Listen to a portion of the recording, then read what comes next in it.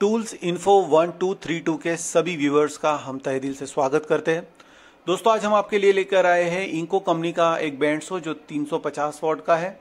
Industrial purpose के लिए ये प्रोफेशनल यूज़ किया जा सकता है। दोस्तों, इसकी स्पेसिफिकेशन आपको बता दूँ मैं रेटेड वोल्टेज है 220 टू 240 50 हर्ट्ज पर, और पावर इनपुट 350 वॉट है, और ब्लेड स्पीड 11.6 मीटर पर सेकंड है इसकी पर सेकंड है।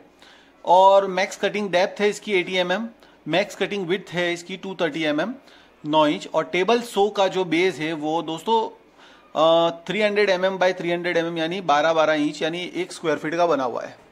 अब ये बहुत ही बढ़िया और अच्छी सेफ्टी दी हुई है इसमें। मैकेनिज्म इसका क्या है, इस मशीन को पूरा खोल के भी हम बता देंगे।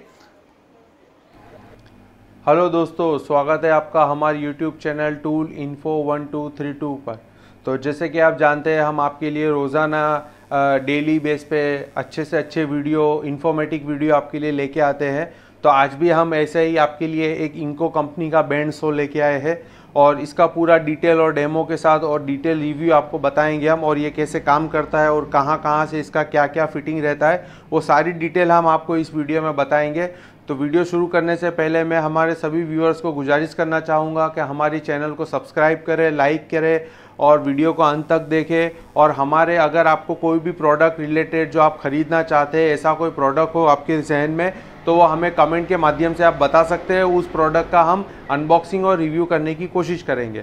ठीक है? चलिए शुरू करते हैं दोस्तों। आज का हमारा, आज का हमारा जो वीडियो है, ये वीडियो एक बैंड सौ है, जो 350 वोट की इसकी मोटर की कैपेसिटी है। इंडस्ट्रियल यूज़ के अंदर ये काम लगता है। इंको कंपनी का। इसके पहले भी हम लोग इंको कंपनी के बहुत से प्रोडक्ट लेके आ चुके हैं और बहुत ही बढ़िया इसका रिज़ल्ट है और कोई भी गैरे कोई भी प्रॉब्लम आती नहीं है प्रोडक्ट के अंदर।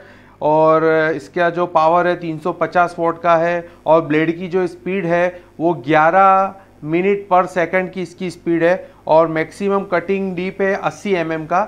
और ये जो मैक्सिमम कटिंग इसकी वाइडनेस है, वो 230 एम mm की इसकी का ये वाइडनेस है। और जो इसका एल्यूमिनियम का जो टेबल है, वो 300 बाई 300 एम mm मतलब 12 बाई 12 का ये इसका एक फुट का टेबल है। तो बॉक्स के ऊपर बस इतनी जानकारी है, इसका जो नेट वेट है, वो 18 किलो का ये पूरा मशीन है। और जैसे कि आप देख रहे हैं कि हमने इसको हमारे टेबल पे रखा हुआ है, इसका मतलब आप ये मशीन कहीं पर भी लेके जा सकते हैं, अपना जहाँ पर आपकी काम की साइड हो, जहाँ पर भी आप काम करते हो, वहाँ पर आप इसको लेके जा सकते हैं। और बहुत ही बढ़िया और बहुत ही कैपेबल और काम में उपयोगी वाला मशीन है। ये कारपेंटर और जो लाइट फिटिंग का काम करते हो या जो कारपेंटरी का काम करते हो, ये सबके लिए उपयोगी है। बहुत ही बढ़िया बैंड सो है। अब मशीन की डिटेल के अंदर हम आपको थोड़ी सी इसकी डिटेल और बेसिक चीज़ आपको बता देते हैं। एक जो इसका वायर है सिंगल फ़ेज़ यूसिंग वाला वायर है ये दो मीटर लंबा वायर है। देख लीजिए आप वायर बहुत की क्वालिटी भी बढ़िया है और यहाँ पे इसकी ऑन ऑफ़ की स्विच है। ऑफ़ की जो स्विच है वो थोड़ी बाहर से दी हुई है। इसका मतलब कभी भी आप जल्दी से कुछ प्रॉब्लम हो इमरजेंसी हो तो आप जल्दी से इसको बंद करना चाहे तो तुरंत ही बंद कर, कर दे। और जो चालू करने की स्विच है ऑन की स्विच है, वो पूरी कवर की हुई है। इसकी वजह यह है कि कोई गलती से भी अगर किसी का हाथ लग जाए तो वो अंदर की जो ऑन की स्विच है, वो चालू ना आ जाए। उसके लिए उसको थोड़ा अंदर दिया हुआ है और ऑफ़ की स्विच को ऊपर से दिया हुआ है कि आप हल्के से हाथ भी लगाएँगे तो ये बंद हो जाएगा। और ये मशीन के अंदर पूरा सेंसर वाला मशीन है ये। ये मशीन के अंदर अगर कोई भी पार्ट मशीन का खुला हुआ होगा तो ये मशीन वर्क नहीं करेगा। ये इसकी मशीन की सेफ्टी पर्पज़ के अंदर आता है। अगर इसके अंदर ये ऊपर वाला ढक्कन या नीचे वाला ढक्कन या कोई भी इसका जो मूवेबल पार्ट है, वो अगर खुला हुआ होगा तो ये मशीन ऑपरेट नहीं करेगा। आपको उसको बंद करके ही उसको और सारे सेंसर उसको जब यस करेंगे, तभी ये मशीन चालू होगा। फुल्ली ऑटोमेटिक मशीन है ये। और इसके अंदर अब मैं ऊपर का जो इसका बॉक्स है, वो खोल के बता देता हूँ आपको मशीन के अंदर क्या क्या है।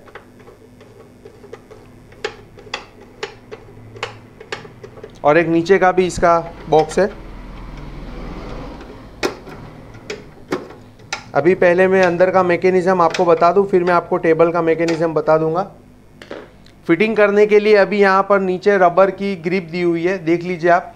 अगर आप कहीं पर इसको फिक्स करना चाहते हैं, अगर आपके पास टेबल का आप अरेंजमेंट करते हैं और इसको फिक्स करना चाहते हैं तो तो आप फिर इसको खोल के डायरेक्ट बोल्ट भी लगा सकते हैं रबर रख के। मगर आप इसको अगर मूवेबल रखते हैं तो ये जरा भी हिलेगा नहीं अपनी जगह पे से, क्योंकि उसके नीचे कंप्लीट रबर लगे हुए हैं। नीचे का कंपार्टमेंट खोलते हैं हम। एक बड़ा सा चक्का है और इस तरफ़ भी बड़ा सा चक्का है। देख लीजिए आप। और ये पूरा ऐसे घूमता है। यहाँ पर एक मोटर दी हुई है। पीछे है जो मोटर का हिस्सा भी मैं आपको पीछे से बता दूँगा।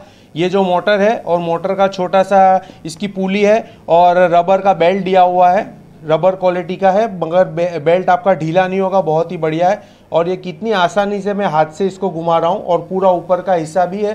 घूम रहा है। और ये डबल डबल बेरिंग वाला ये पूरा है। इसके अंदर अंदर भी बेरिंग है और बाहर भी बेरिंग है। तो ये डबल बेरिंग के अंदर ये मशीन काम करता है। देख देख रहे हैं? आप ये ऊपर वाला जो चक्का है इसकी बा, बाहर की तरफ़ की बेरिंग देख रहे हैं। और इसके अंदर और एक बेरिंग भी है जो अंदर की तरफ़ है पीछे की तरफ़ है जो आपको अभी दिखाई नहीं देगी। और उस हिसाब से ये मेंटेनेंस में बहुत ही कम आपको प्रॉब्लम देगा और बहुत ही अच्छे से ये काम करेगा और एकदम फ्रीली घूमेगा ये। देख लीजिए बहुत ही फ्रीली घूमेगा। पहले ये मोटर से ये वाला फ्राई व्हील घूमता है और ये पट्टे की मदद से ये पूरा चक्का घूमता है। और यहाँ से देख पा रहे हैं यहाँ पे सौ भी आराम से घूमती है। देख लीजिए आप।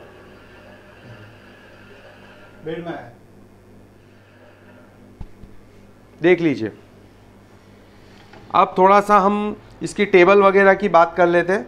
तो ये जो टेबल के पास मेन जो इसकी एसेसरीज है ये आपका एंगल सेट करने के लिए है कि आप कोई भी लकड़ा वगैरह आप इसको एंगल सेट कर सकते हैं। यहाँ पर ये भी पूरा मूवेबल है।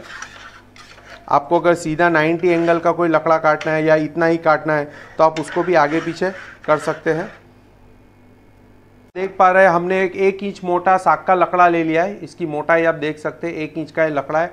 अब क्या है कि अगर मुझे इसको काटना है, मैं आपको काट के भी बताऊँगा। मैं आपको अभी सिर्फ़ इसकी पोजीशन बता दे रहा हूँ। अगर मुझे इसको अंदर तक लेके जाना है, देख लीजिए। अगर मुझे यहाँ पे तीन इंच की खाँचा, खाँच गिरानी है तो मुझे यहाँ पर इसको सेट कर लेना पड़ेगा पहले नाप के। तो अगर मैं इसको काटूँगा तो वहीं पे जाके ये रुक जाएगा, ये इसका काम है। और अगर मुझे उस तरफ़ का भी मार्जिंग करना है तो उस तरफ़ की मार्जिंग के लिए यहाँ पर पूरा एल्यूमिनियम का सिस्टम दिया हुआ है, देख सकते ये पूरा ऐसे ऐसे करके घूमेगा। आपको अपनी जगह पे रखिए और वन लॉक के अंदर ही ये पुश हो जाएगा। देख लीजिए आप। अगर आपको इसको नीचे कर देना है, ये लॉक हो गया। ऐसे करके आप इसको सीधा एकदम 190 डिग्री के अंदर 180 डिग्री के अंदर या कोई भी डिग्री के अंदर आप उसको घुमाना चाहते हैं तो वो आराम से कट जाएगा। नीचे के हिस्से में अगर हम देखेंगे तो इसके जो नीचे का हिस्सा है, उसके अंदर टेबल है। देख लीजिए आप, ये टेबल भी पूरा एंगल पे सेट होता है। मैं आपको एक बार बता दूँ, यहाँ से मैं इसको ढीला कर रहा हूँ। और जैसे ही मैं ढीला करूँगा, पूरा टेबल मूव होने लगेगा।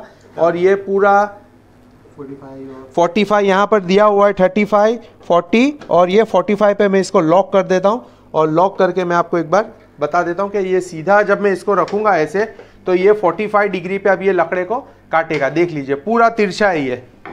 मैं आपको एक लकड़ा भी काट के बताऊँगा। देख लीजिए आप पूरा तिरछा है ये। ऑटोमेटिक पिस्तालीस पे चलेगा। हाँ अभी ये ऑटोमेटिक पीछे पैंतालीस डिग्री पे ये कट करेगा। तो बहुत ही बढ़िया मशीन है। अभी मैं इसको, पहले जो था ज़ीरो डिग्री पे वो मैं इसको कर देता हूँ। तो आपको फिर बता दूँगा, उसके बाद आपको आइडिया आ जाएगा। और इसको जो एंगल चेंज करना, वो बहुत ही आसान है। आपको नापना, करना कुछ भी नहीं है। आपको सिर्फ़ यहाँ पे ध्यान रखना है। यहाँ पे दिखा हुआ है, लिखा हुआ है, ज़ीरो से लेके फोर्टी फाइव। अभी मैं इसको कोई भी टेंशन बगैर ज़ीरो पर ले लेता हूँ। ये ज़ीरो पे आ गया है और मैंने इसको टाइट कर दिया है। और ये जो सेटिंग और एडजस्टमेंट के लिए भी पूरा हाँ। पूरा दिया हुआ है। अब मैं जो आप इसको बता रहा हूँ कि आप पहले यहाँ पे बता दीजिए ये जो चक्का है। अभी मैं, अगर हमारे व्यूअर्स को पता चल जाए कि भाई ये जो सौ है, सौ ब्लेड बोलते हैं जिसको, ये ब्लेड आपकी सर्कुलर वन पीस ब्लेड है। ये आपकी अलग अलग ब्लेड नहीं है तो ये पूरी की पूरी ब्लेड इसके अंदर घूमती है। और अगर आपको मेंटेनेंस के लिए या मशीन की साफ़ सफ़ाई के लिए अगर आपको ये सौ को खोलना है, और अगर आपको नई सौ डालना है तो यहाँ से ये जो आपका देख रहा देख रहा है, ये वाला नॉप आप घुमाएँगे तो ये हाइट नीचे हो जाएगी इसकी। और पीछे और एक नॉब दिया हुआ है, देख लीजिए। जैसे ही हम ये नॉब को घुमाएँगे तो ये वाला जो इसका सौ वाला हिस्सा है, ये ढीला हो जाएगा और यहाँ से ये ऊपर का ढक्कन इसका खुल जाएगा, देख लीजिए। ये ऊपर का ढक्कन खुल चुका है, पूरा जो कवर है, प्लास्टिक का फाइबर का मोटा सा कवर दिया हुआ है। अभी भी ये सौ टाइट है। अब इसको मेरे को अगर सौ को निकालनी है तो यहाँ पर पीछे एक लीवर दिया हुआ है। ये रहा लीवर। इसको मुझे खींच इसको मुझे नीचे पुश करना है देख लीजिए आप। जैसे ही मैं पुश करूँगा देख लीजिए एक बार बता दूँ मैं आपको देखिए। ये व्हील पूरा ऊपर नीचे हो रहा है। जैसे ही मैं इसको पुश करूँगा ये सौ है ये पूरी हाथ में मेरे आ जाएगी और ये सौ पूरी मैंने निकाल दी है। ये देख लीजिए आप। क्या बात सौ मैंने पूरी निकाल दी है। ऐसे ही यहाँ से मैं इसको निकाल दूँगा तो ये यहाँ से भी आराम से निकल जाएगी। देख लीजिए यहाँ पर भी इस इस तरीके की यहाँ पे मैकेनिज्म दिया हुआ है। कोई प्रॉब्लम नहीं आएगी, कोई दिक्कत नहीं आएगी आपको। मेंटेनेंस में भी बहुत आसान इसका मेंटेनेंस है।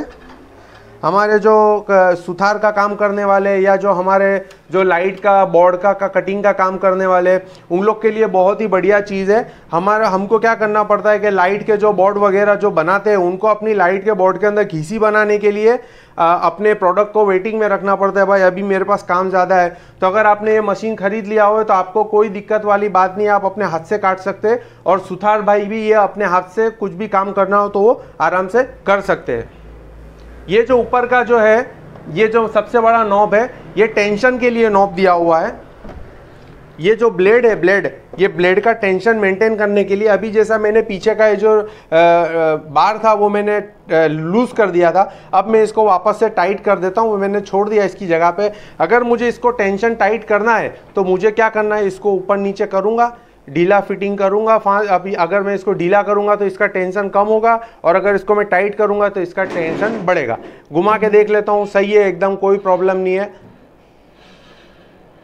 डबल बेरिंग का पूरा यह चक्का है बेरिंग बाहर की तरफ़ भी है, अंदर की तरफ़ भी है, मेकेनिज़्म बहुत ही बढ़िया है। यहाँ पर भी बेरिंग दी हुई है, एक बार यहाँ पर बता दीजिए, ये रहे, अंदर भी ये जब चलेगा तो यहाँ पर बेरिंग दी हुई है, देखिए, यहाँ पर घूम रही है, देखिए यहाँ पर।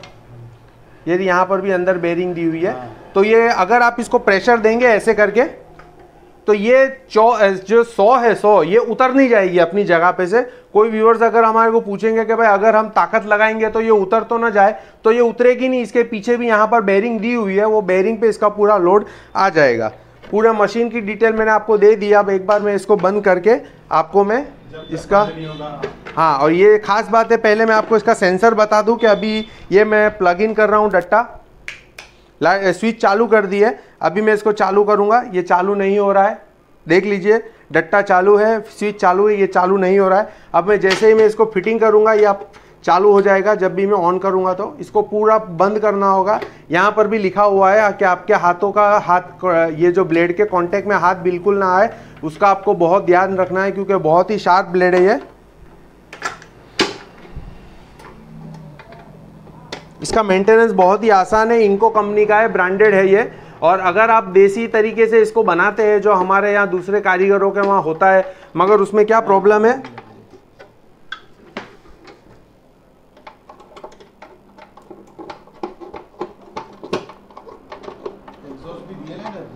हाँ।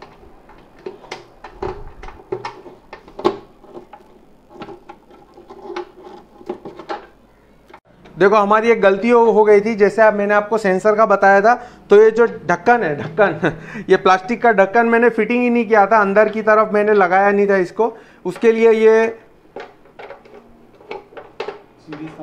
सीरीज़ कंप्लीट नहीं हो रही। थी ये।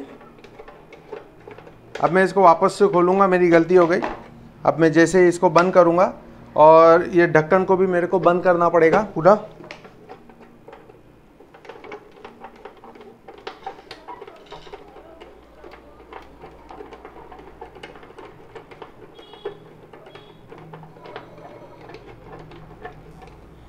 बहुत कोशिश के बाद पता चला कि इसका सेंसर कहाँ पर है। तो अभी तक ये चालू ही नहीं हो रहा था। हमने बहुत कोशिश की, ये डब्बे को तकरीबन तीन से चार मरतबा खोला ढक्कन को। फिर पता चला इसका सेंसर ऊपर दिया हुआ है। देख लीजिए आप, बहुत ही बढ़िया सेंसर दिया हुआ है इसका। तो यहाँ से क्या है, आपको कंप्लीट टाइट होगा, तभी ये काम आगे करेगा। देख लीजिए। और ये इसका सेंसर, नीचे वाले ढक्कन का सेंसर यहाँ पे दिया हुआ है। अगर आपके ये ढक्कन के अंदर एक भी ढक्कन लूज होगा तो ये मशीन को ऑन नहीं करेगा। ऑन होने के, ये ढक्कन टाइट होने के बाद और ये सेंसर को यस करेगा, तभी ये मशीन चालू होगा। अब मैं आपको एक बार इसको चालू करके बता देता हूँ मैं। चालू हो चुका है, देख लीजिए आप। अब क्या करना है, हम, हमें, हमको इसको कटिंग करना है। कटिंग करने के लिए एक लकड़ा ले लिया है मैंने, जैसे आपको पहले ही बताया था, एक इंच का लकड़ा है। हाथ थोड़ा बचा के आपको काम करना है।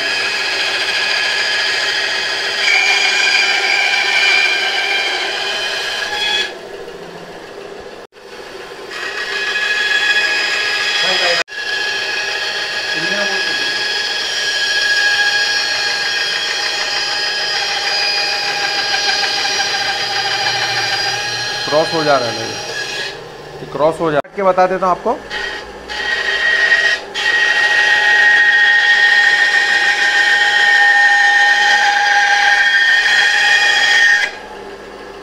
देख लिए। एक बार एक पीस काट के बता देता हूँ मैं आपको।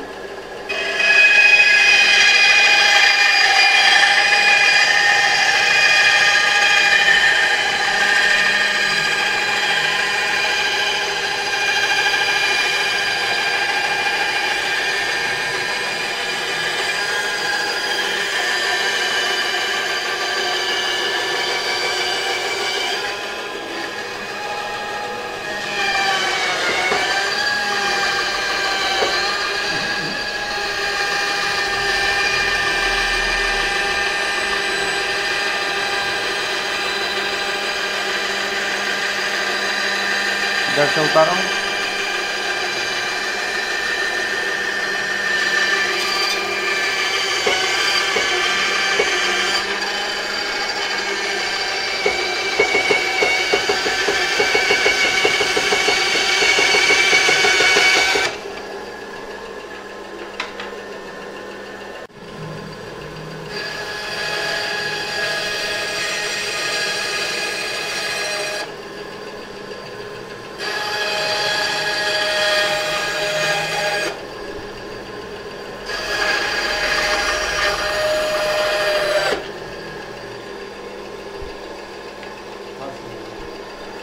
अगर आपको कोई लंबी वाली चीज़ काटनी हो तो आपको क्या करना पड़ेगा? इसके अंदर आपको वो जो हमारी जो हैंड सॉ होती है ना, उससे ही आपको काटना पड़ेगा। मैकेनिकल सॉ होती है वो। मगर ये क्या है कि छोटी मोटी चीज़ जो आपको कार्विंग का काम हो या आपका मोल्डिंग का काम हो, वो ये बहुत ही आसानी से काट देगा। एक बार मैं आपको ये वाला पाटिया भी काट के बता देता हूँ मैं।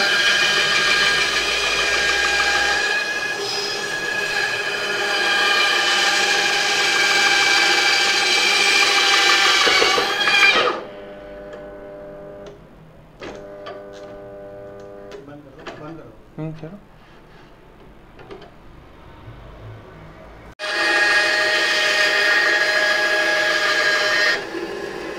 तो दोस्तों, ये है हमारा इंको कंपनी का बैंड सौ और देख सकते हैं आप कितना बारीक इसने काम किया हुआ है। छोटे छोटे टुकड़े कर दिए राउंड शेप में भी टुकड़े किए इसने और बहुत ही स्मूथ तरीके से इसने काटा है। देख लीजिए, वो जो आरी से और कटर से काटने काटने के बाद जो भूखा निकलता है, जो लकड़ा खराब हो जाता है, वो भी इसके अंदर बिल्कुल भी खराब नहीं हुआ है, क्योंकि बैंड सौ है, एकदम सीधी चलती है।